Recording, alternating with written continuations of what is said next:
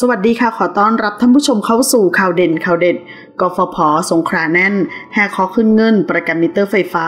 วันแรกสุดวุ่น วันที่ 25 มีนาคม ผู้สื่อข่าวรายงานบรรยากาศวันแรก ของการเปิดให้ประชาชน ลงทะเบียน รับเงินประกันการไฟฟ้า ที่การไฟฟ้าส่วนภูมิภาคอำเภอหาดใหญ่จังหวัดสงขลาว่า แม้จะมีการประกาศให้ประชาชน ลงทะเบียนผ่านระบบออนไลน์เท่านั้น เพื่อป้องกันการแพร่ระบาดของเชื้อไวรัสโคโรนาสายพันธุ์ใหม่ หรือโควิด -19 ก็มีประชาชนอีกบางส่วนที่เดินทางมาติดต่อขอลงทะเบียนที่สำนักงานการไฟฟ้าส่วนภูมิภาค ตั้งแต่ช่วงเช้า โดยมาสอบถามรายละเอียดต่างๆ เกี่ยวกับการลงทะเบียน และอีกบางส่วนก็มาสแกน QR code ที่ได้มีการขึ้นป้ายติดไว้หน้าประตูทางเข้า เนื่องจากใบแจ้งหนี้ยังส่งมาไม่ถึงบ้าน จากการสอบถามนายจำเนียนบุญแก้ว ผู้จัดการการไฟฟ้าส่วนภูมิภาคอำเภอหัดใหญ่เปิดเผยว่า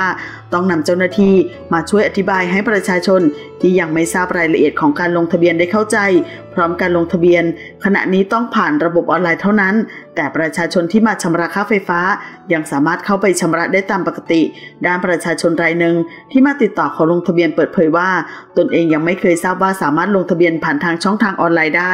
จึงเดินทางมาติดต่อกับเจ้าหน้าที่การไฟฟ้า เพื่อขอทราบขั้นตอนการลงทะเบียน ขอขอบคุณข้อมูลจากข่าวสดขอบคุณค่ะ